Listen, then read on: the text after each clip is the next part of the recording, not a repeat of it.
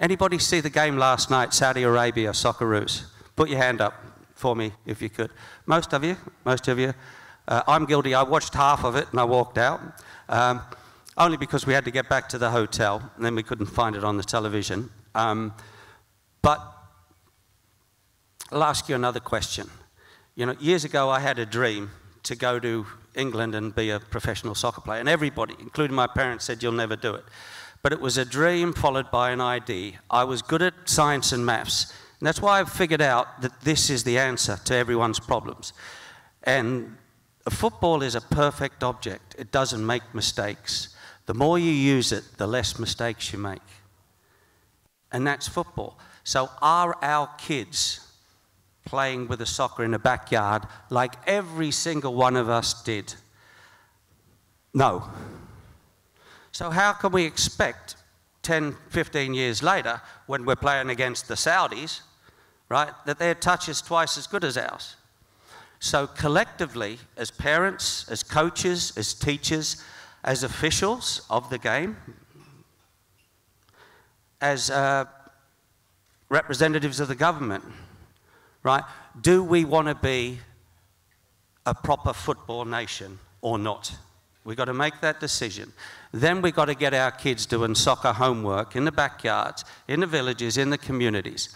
So this touches onto something that, that that's deep for me. Um, well, that's, that's what I want to touch on, Craig. With, when you look at Brazil and Argentina here tonight, and, and the absolute unbelievable level of talent that's in those squads. And you can probably multiply those teams four or five times over and you get the same standard uh, of player and team. The kids in Argentina and Brazil, they grow up knowing that they can win a World Cup and knowing that they can be part of a World Cup winning team. Kids in Australia, they grow up loving the sport. There's 1.9 6 million player, uh, 1.96 million players registered in Australia. One in two players, one in two kids who are aged between 6 and 13 are actually playing the game in this country, three times more than any other sport. So we, have got the numbers. But they don't grow up knowing that they can win a World Cup. They might dream it, but they don't know it. You've said to me many, many times that Australia can win a World Cup. Why are you so confident? Well, I'm, I'm, I'm incredibly confident because has anybody noticed that Brazilian kids have got two arms and two legs?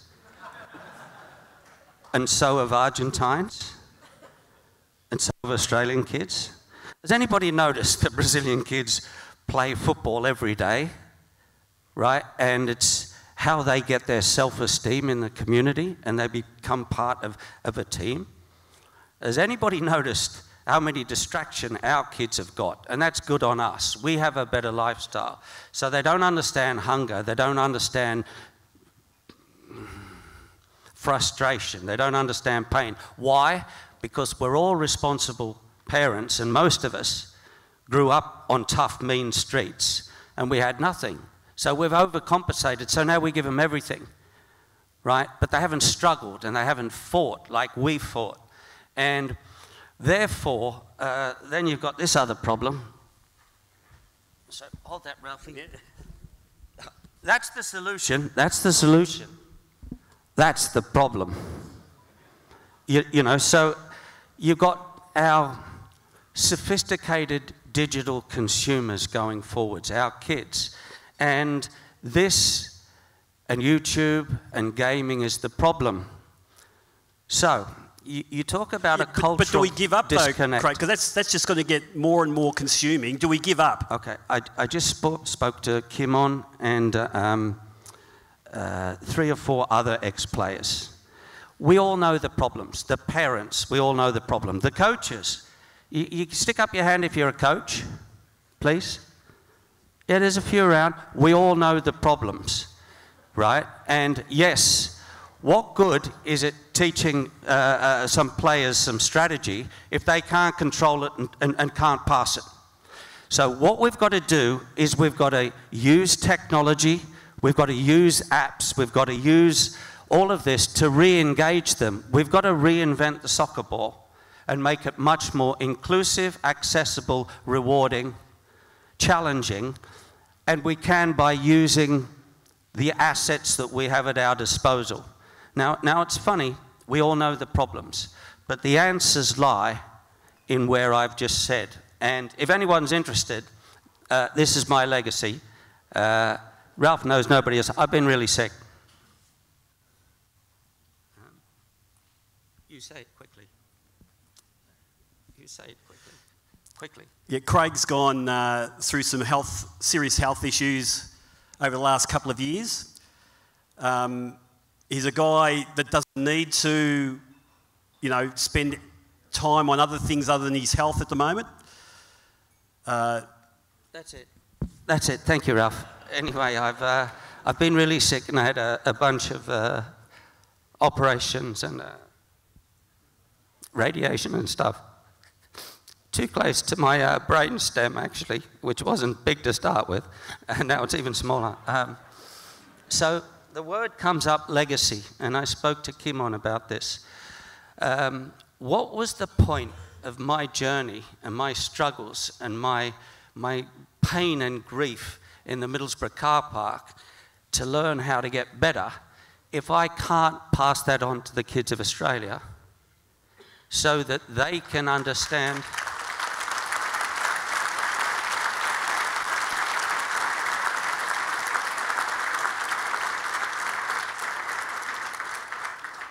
Th thank you, thank you. Um, so that, you know, we all have a problem now, and, and what it is, if this becomes less fun, then kids will drop out of the game eventually. And it's not just Australia that has this problem. Look, look at England getting beat by Iceland in the European Championship.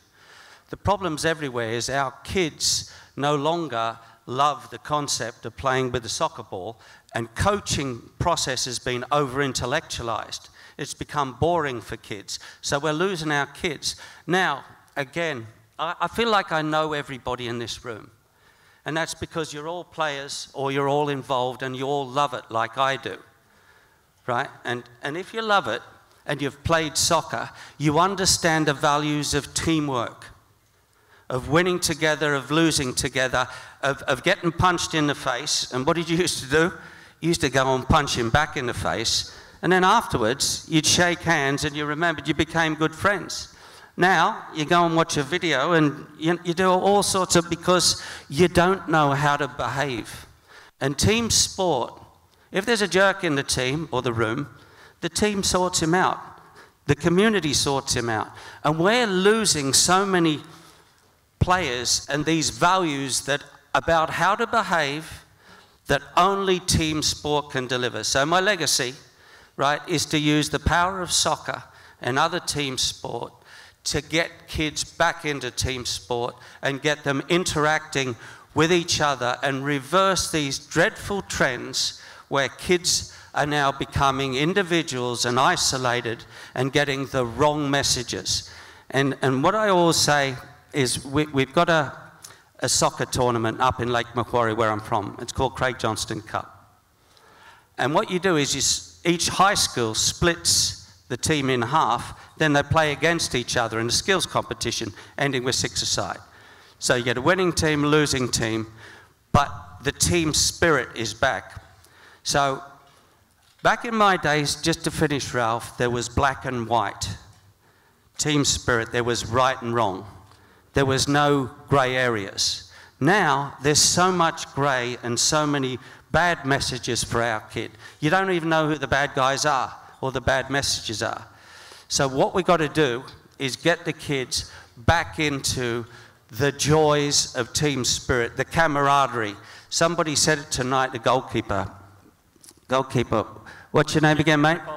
Jeff Olver. Jeff mentioned a word. He said the brotherhood.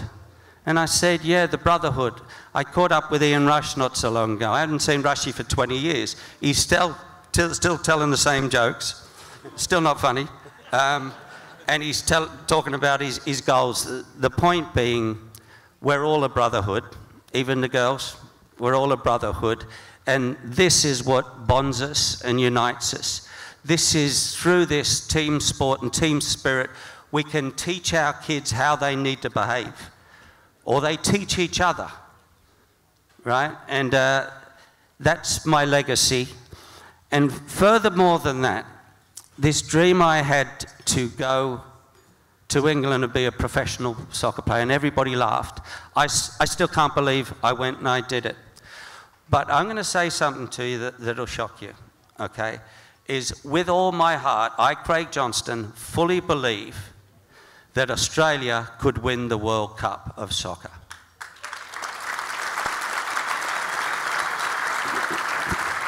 I do, and I tell you why I do. Because in 20 years' time, either Brazil or Argentina or Germany is going to win the World Cup.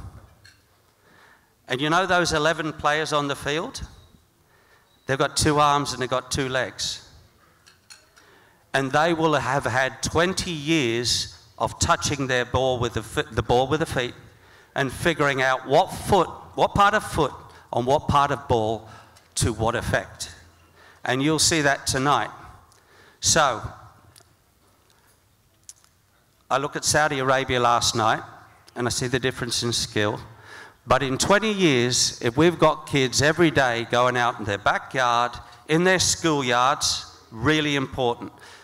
The biggest, I believe, the biggest single thing that, that the government can help us all with is get more kids playing more school, soccer in more school by breaking down the skills and providing a better range of facilities, then getting soccer's organising bodies to help with them. So, again, sorry, Ralph, I haven't let you speak, mate. Um, I want to thank you for the easiest interview I've ever done in 25 years of radio. Uh, mate, I can go on. I can go on forever, Craig. You have been a true inspiration, and I've interviewed so many uh, of the golden generation over the years, and they talk about their inspiration, and you were that inspiration. So, your journey to Liverpool all those years ago, being told that you weren't good enough, all the battles in the car park at uh, Middlesbrough, and all the other things you had to go through, this is, this is what it's led to, mate. The love for the room, and many hundreds of uh, careers in full time football. But I want to thank you for being part of this today. Uh, people obviously uh, have got such a, a buzz from hearing you talk today. And the fact that you believe Australia can win the World Cup one day, well, that's just absolutely inspirational to the rest of us. Well, th- thank you, Ralph. And um, again, you don't see me because I'm sick of telling my story and I always get emotional, always burst into tears, always feel like a jerk, right? Um, but I'm a really practical person. So the reason I've come out of hiding is I'm sick of talking about it. And where it will get done is in places like this with clever people like you. You've all done well in life. You all love the game. You've all got kids. You all go to school. You've all got a say in government and parliament. You're all coaches, you know? So we can start together to make a difference. And I think about eight years ago, I heard a statistic, and it was this simple, and this is why Australia can win the World Cup. That per capita, and the Olympics was all the rage, there's more world champions per capita in this country than any other country in the world. Russia, China, USA, throw them all in. So think about that. Now, we focus them on this and give them the soccer homework that they do on a daily basis. And it's got to be fun. You've got to involve apps and electronics and giant playstations where they turn buzzers and lights and bells and whistles on with their feet and their head, right? And there's some clever stuff because there's some clever electronics people in Australia. And we can make that equipment that makes players come back to it every day because we've got to speak to these kids in their language. They're all gamers right? They're all YouTube aficionados. They're cleverer than us at the digital stuff. So speak to them in language, engage them, rewards them, challenge them. And um, you know what? Uh, I'd love to come back down to Melbourne and, uh, and work with you if anybody's up for it. Thanks very much, Craig. Ladies and gentlemen, Craig Johnston, legend of Australian football. Thank you. Thank you, Ryan.